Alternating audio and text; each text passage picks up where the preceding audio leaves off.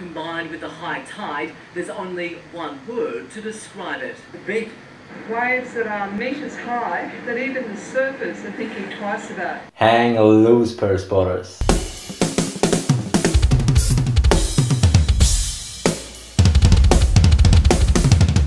It's time for surfing in Burleigh Heads. All I do is adore you all of the time. I like to.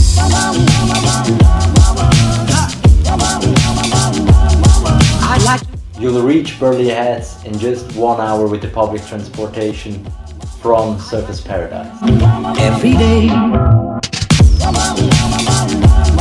I like to love you, love you. Arriving there, I observed the coastline and I was impressed. The waves were huge. I like to love you, love you. I like to love you, love you. We had lunch at the Social Brew Cafe. If I may, may, may.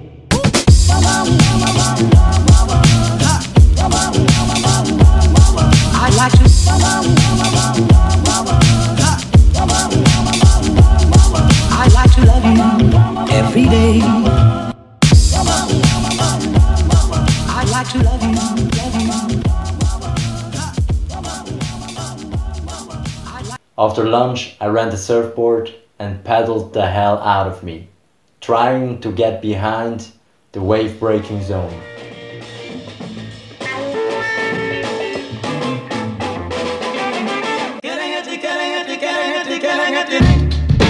Until I realized that I'm the only one paddling like an idiot.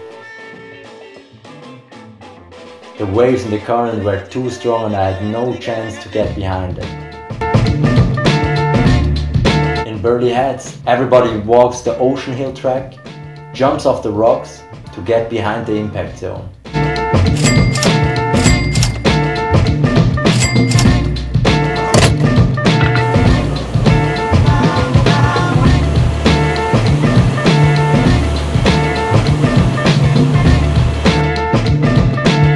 So I did the same.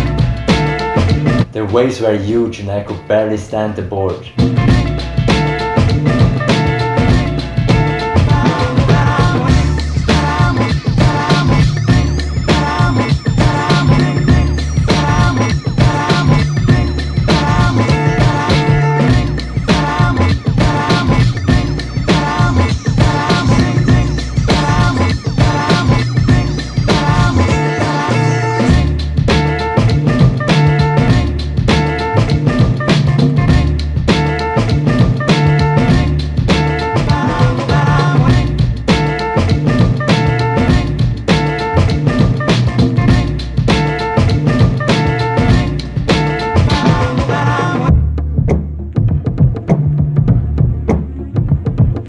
Least I made it to Australia's television. All combined with the high tide, there's only one word to describe it. The big.